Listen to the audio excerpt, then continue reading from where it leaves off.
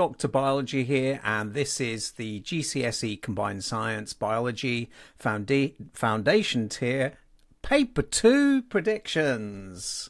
So, Paper 2, when is it? It's going to be on Monday, 9th of June in the morning, and it will be for a total of 1 hour 15 minutes. Okay, so before I talk about the predictions, remember you must revise everything. So uh, even though I'm predicting, do not just revise what I'm going to tell you.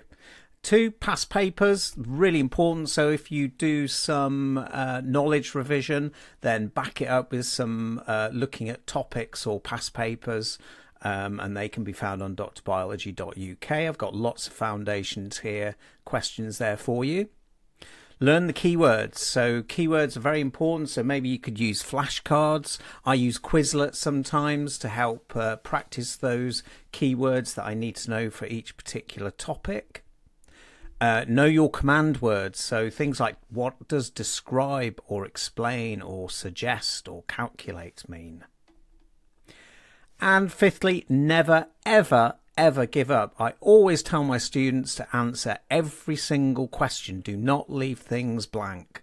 Okay, you must attempt every single question. You never know, you might get an extra mark here or there that will improve your grade.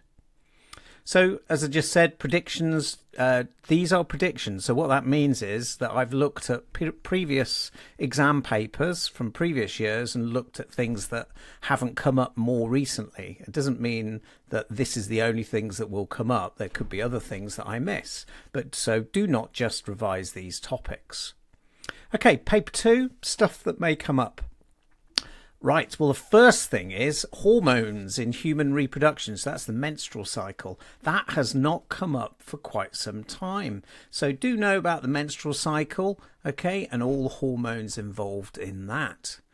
Contraception. So you did a, uh, you looked at different contraceptive methods probably they'll give you a data led question. So, what that means is they'll give you lots of information and you've got to work out the answer. So, for that, you will need to find some past paper questions. You, you can find that in my website, drbiology.uk.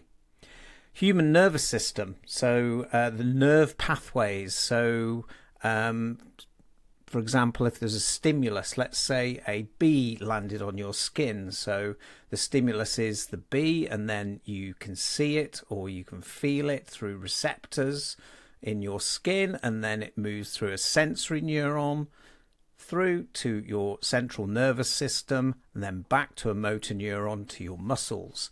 I'd also learn about reflex actions.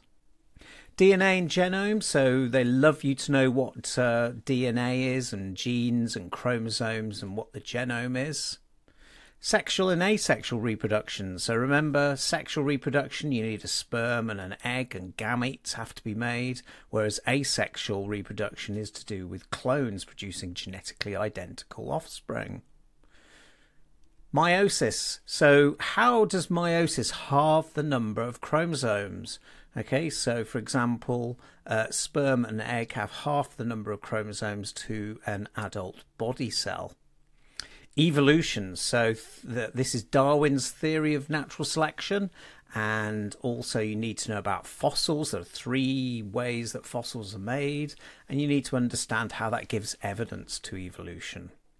Selective breeding, so choosing the best characteristics of a particular animal or plant, and you must breed over many generations. Abiotic and biotic factors, so that's related to ecology. So, abiotic means the non living parts, so things like rainfall, pH of soil, uh, sunlight, temperature, whereas biotic factors are the uh, living things. So, um, for example, competition with other things, with, with other animals uh, or plants for food, for shelter, for mates. Food chains, predator prey. So, food chains uh, know how to label a food chain and be able to show a food chain and also know about predator prey. And again, you probably have to uh, look at some graphs and work out what's going. So describing and explaining what what happens in a graph.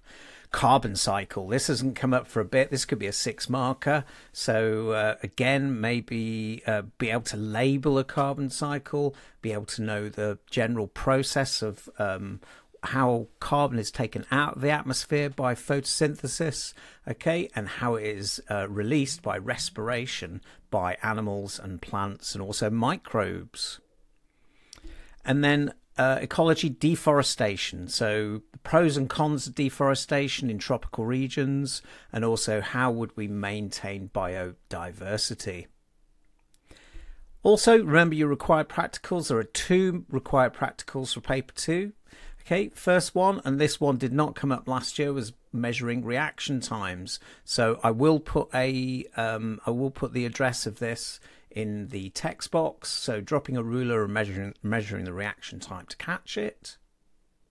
And the second one is measuring population sizes. So this is using quadrats. And for example, you might have sampled daisies in your field, for example.